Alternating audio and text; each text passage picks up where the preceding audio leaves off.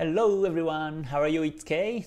Thank you for watching this video today. This is the 11th October 2022 and this is my third time recording because I, every time I record the video I keep ringing ring the bell, I get the alarm. Um, so I hope this time I can record it until the end of what I want to say today and hopefully um, I can get through. So um, yeah, so today I wanted to talk about the difference between range and trending markets because um, everybody is from different backgrounds and different strategies in different ways to see the charts in markets and the definition of range and trend might be different too.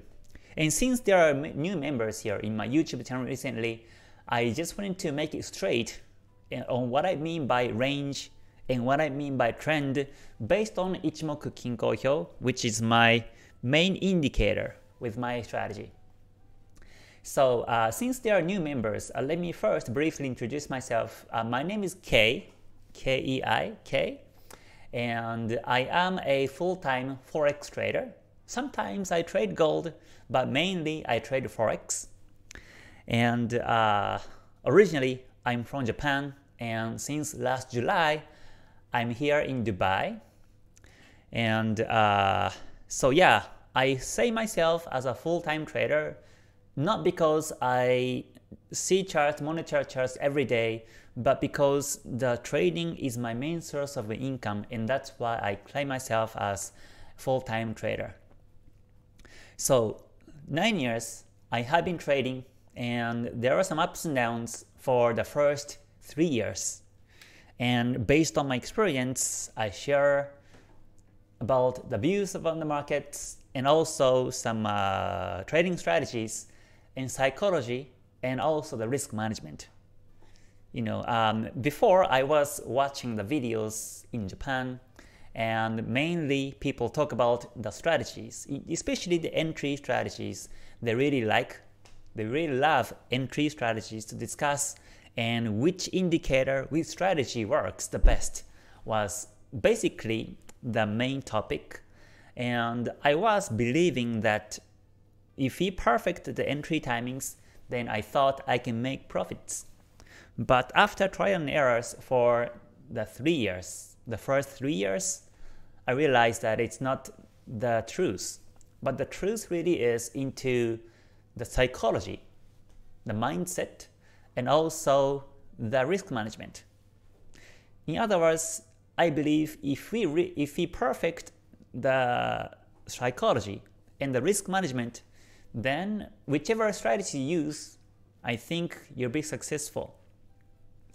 So in my YouTube channel, I talk about my strategies. Not only that, every month and I review my own trades. So uh, last Saturday, I did my review on my trades in, in the month of September. So if you haven't watched that archive, you can check that and enjoy how I took these trades. But uh, again, today I wanted to talk about uh, what it means by range and trend based on Ichimoku Kinko Hyo. So um, yeah, so let me switch screen and get into the discussion now. So here is the TradingView. And this, here, this is the Euro USD, and this is a daily time frame. So when you see this trend, when you see this market, you think that this is downtrending or this is ranging? Is the first question I wanted to ask yourself. Please take a moment and think about that. Because I have a clear view, I have a clear answer whether this is range or trend. So you get the answer now in your head. So this is for me range. This is range for me. And if I say it's range, you may go, why is it? Because you see the market has been lower highs and lower lows, reversing the waves continuously. So this is range. So the market is market has been down. Hold on, let me let me um, enlarge. So if you look at this candles, this is a daily time frame. So for the last five days, it has been bearish.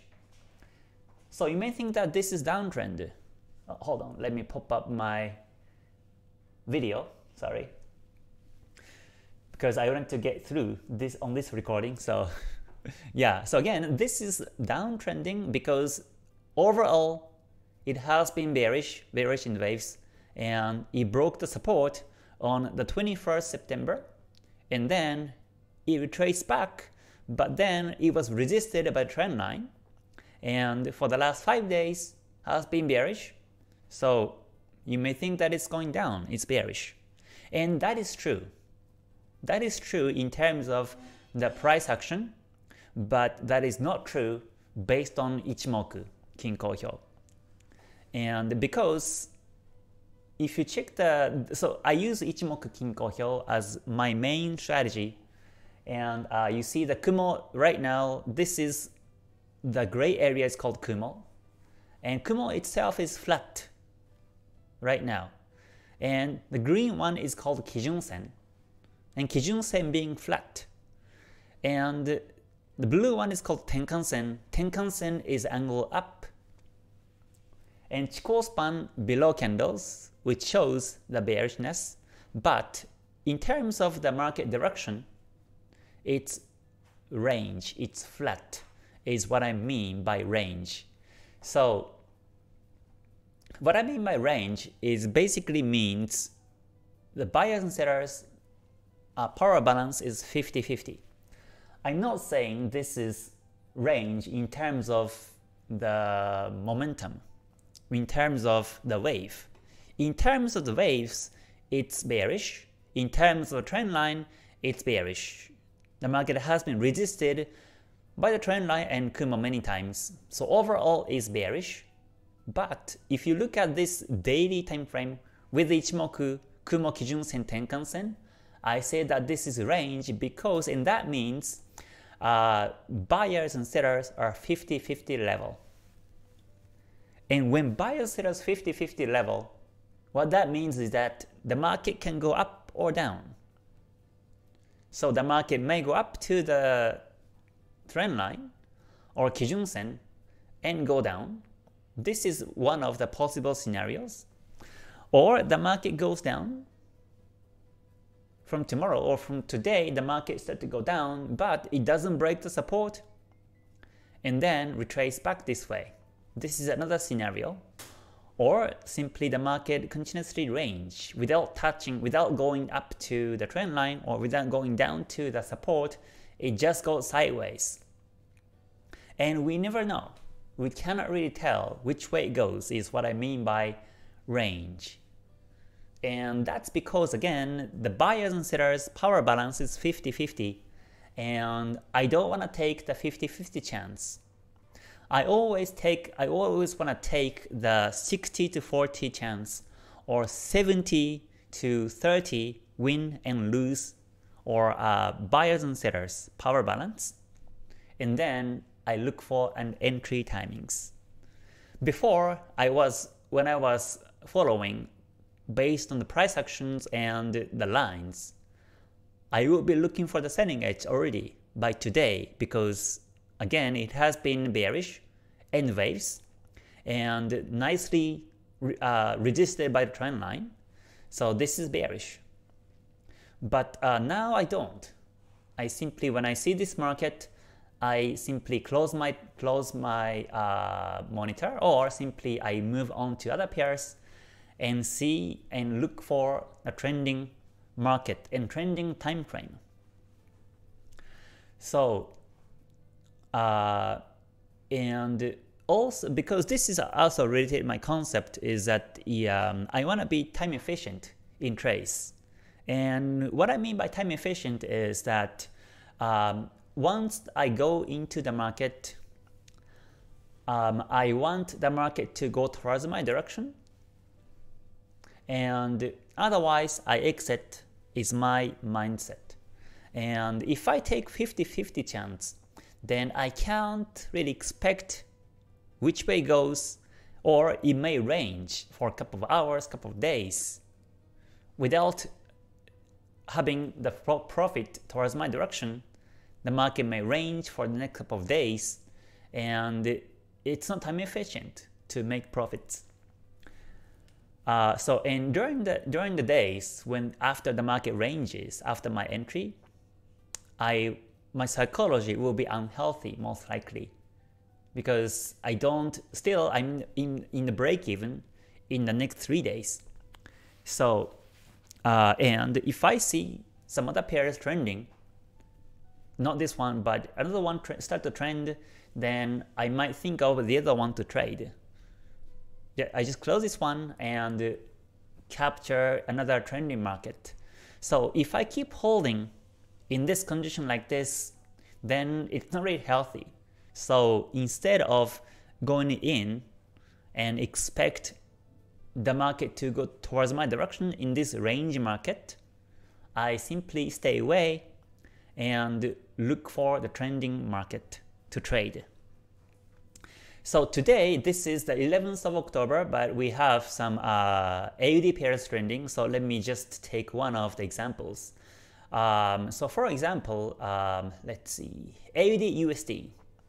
This one is nicely downtrending, not only the waves and the trend lines, but also if you look at the Kumo and Kijun Sen, Tenkan Sen, and Chikou span below candles, all these lines are angled down. And this is the market I want to trade. There is an edge uh, to trade uh, that the market goes towards my direction. So this is a type of the market I trade, but uh, not this one is I wanted to clarify today. So um, again, I use Ichimoku Kinko Hyo with my own understanding and uh, with my own experience. For the last 9 years, I use Ichimoku Kinko Hyo like this. Um, and this is really effective at least for me, it, work, it has been working for the last six years. Of course, I have the knowledge of and experience of uh, of the candles and lines and other uh, other uh, strategies to look at. But basically, I use Ichimoku to uh, to capture the market directions and trends.